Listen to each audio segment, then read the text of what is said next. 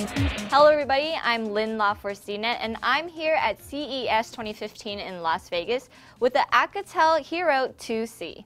The device features a 6-inch 720p display and runs Android 4.4.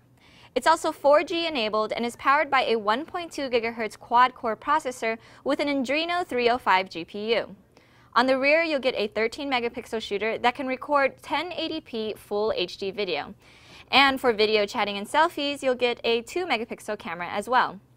And powering all this is a 3.4 ampere hour battery. The handset will launch in Latin America, although Alcatel hasn't released any pricing or availability dates just yet. Again, I'm Lynn, and you've been checking out Alcatel's Hero 2C.